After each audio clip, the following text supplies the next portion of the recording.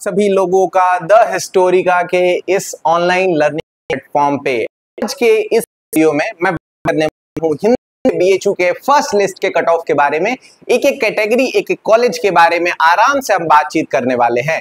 इससे पहले कि मैं वीडियो को शुरू करूँ, अगर आप इस चैनल पर नए हैं तो चैनल सब्सक्राइब करके बेल आइकन ज़रूर हिट कीजिएगा।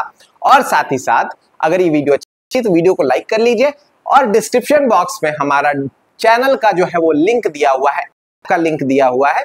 वहाँ जाकर के आप सीवीटी पीजी 2025 की अगर तैयारी करना चाहते हैं तो उसके लिए अपने कोर्स इनरोल हो सकते हैं। जल्द ही हम कोर्सेज जो है वो सारे लाइव होने वाले हैं। आइए हैं, हम बातचीत कर लेते हैं सबसे पहले। कैटेगरी वाइज कितने आया है कट ऑफ़ बारे में जाने की ये सारी ऑफिशियल होंगी। कितने नीचे जा सकता है और अगला कट ऑफ़ कब इसके बारे में हम बात करेंगे। सबसे पहली चीज़ ये है कि क्या ऐसे पॉइंट्स हैं जो करते हैं, जो प्रभावित करते हैं आप ऑफ़ को, ठीक है? सबसे पहली जो चीज़ है वो है नंबर ऑफ़ रजिस्टर्ड कैंडिडेट कितने बच्चों ने जो है वो रजिस्टर किया है बीएचयू के लिए। दूसरी जो चीज़ है वो यूनिवर्सिटीज ओवर बीएचयू बीएचयू से ऊपर जो है वो कितनी यूनिवर्सिटी है जो बच्चे पसंद कर रहे हैं? जैसे जेएनयू हो सकता है डीयू हो सकता है, आपका वर्धा यूनिवर्सिटी गुजरात में है। उसके साथ साथ नंबर ऑफ़ सीट्स तो ये ऑलमोस्ट मेन कैंपस में 250 के अप्रॉक्स सीट्स हैं। समझ में आ गई बात? चलिए अब आ जाते हैं आपके कट ऑफ़ के बारे में। कट ऑफ़ के बारे में हम थोड़ा सा बातचीत कर लेते हैं। आपको सारी चीज़ें दिखा करके मैं आपको बता देता हूँ। ध्यान से देख लीजिए, ये है मास्टर ऑफ़ आर्ट्स हिंदी का जो है वो पूरा कट ऑफ़ यहाँ से शुरू होता है page number 13 out of 67 pages में। यहाँ पे सी टू और का थोड़ा सा ध्यान रखेंगे। सी टू जो है वो क्या है? बीएचयू कोटा है। यानी बच्चे जिन्होंने बीएचयू से पढ़ाई की हो, और सी कोटा है जो कि आपका क्या है? केवल के बाद वाले बच्चे हैं नॉन बीएचयू कोटा है। ठीक, अब बात कर लेते हैं यहाँ पे कट ऑफ़ क्या चल रही है। तो C2 के लिए ईडब्ल्यू e का जो बसंता का है 175 से ऊपर है। एसटी का जो चल रहा है, वो 101 है।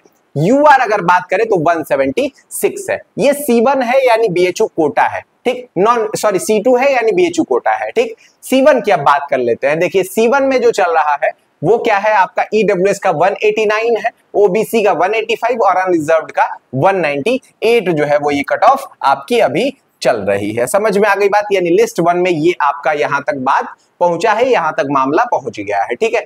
अब हम बात कर लेते हैं पेड फ़ी कोर्स के लिए। पेड फ़ी कोर्स एफिलेटेड में बहुत कम चांस है कि फ़र्स्ट लिस्ट में ही कोई लेगा। तो लेकिन फिर भी कट ऑफ़ जो है वो क्या है? आपकी 170 है 180 अनरिजर्व की है, ठीक?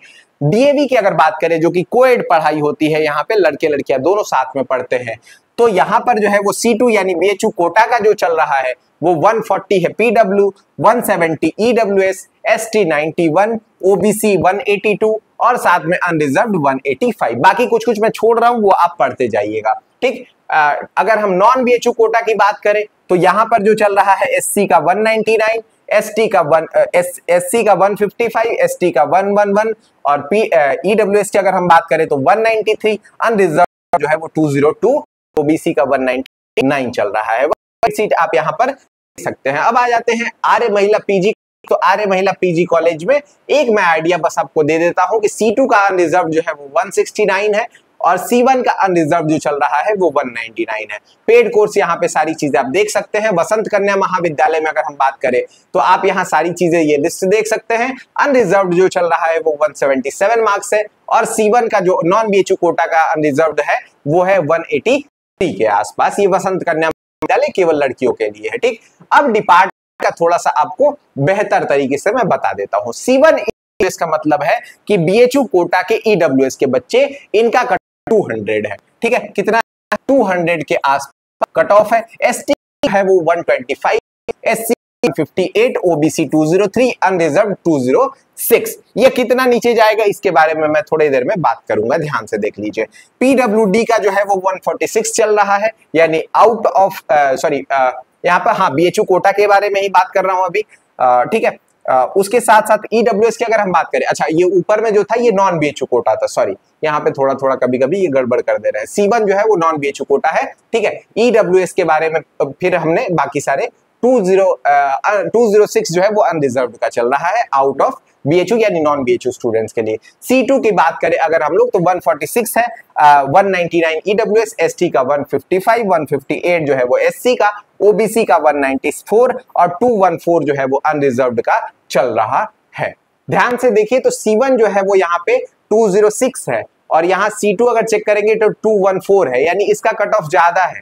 तो ये मुझे टाइपिंग मिस्टेक ज़्यादा लगती है, ठीक है ना? क्योंकि बीएचयू कोटा का कट ऑफ़ हाई कैसे हो सकता है? ये चांसेस बहुत कम है, लेकिन अगर टाइप हुआ है तो ठीक है, मान लेते हैं, ठीक? तो अगर कट ऑफ़ की मैं, अगर एक आइडिया लगाना चाहूँ कि कितना और नीचे आ सकता है तो ऑलमोस्ट मुझे जो आइडिया लग रहा है कि अनरिजर्व बाहरी जो बच्चे हैं उनमें से 190 से ऊपर वाले जो बच्चे हैं, उनको जो है वो थोड़ा सा सोच सकते हैं कि डीएमसी में आ सकते हैं, बाकी एफिलिएटेड तो आपको मिलेगा ही मिलेगा, ठीक है? और बीएचयू अनरिजर्व जो कोटा है, उन बच्चों का 185 के ऑल आसपास जो है वो कट ऑफ़ आ सकता है, बहुत अगर नीचे आता है तो बाकी अभी और घट सकता है, इसमें उम्मीदें हैं, उम्मीद पर दुनिया कायम है, ठीक? ईडब्ल्यू का इसी तरह से फाइव मार्क्स और नीचे कर सकते हैं, इसी तरह का कट ऑफ़ आपका एक आइडिया लग जाएगा। बाकी सेकेंड लिस्ट आपकी 15 या 16 जून को आ जाएगी, उसके लिए भी इंतज़ार किए रहिए। बाकी हमारा ऐप डिस्क्रिप्शन बॉक्स के लिंक में दिया हुआ है। आप चाहें तो सीईटी पीजी 25 की तैयारी के लिए आप वहाँ जुड़ सकते हैं। मिलते अगले वीडियो में। अगर वीडियो अच्छा लगा तो वीडियो को लाइक ज़रूर करिएगा। चैनल अगर अच्छा लग रहा है तो चैनल सब्सक्राइब कर लीजिएगा। बेल आइकन हिट करिएगा और कमेंट करके बताइए अगर कोई भी समस्या आपको देखने को मिल रही है तो बहुत बहुत धन्यवाद। मिलते अगले वीडियो में। शुक्रिया। धन्यवाद।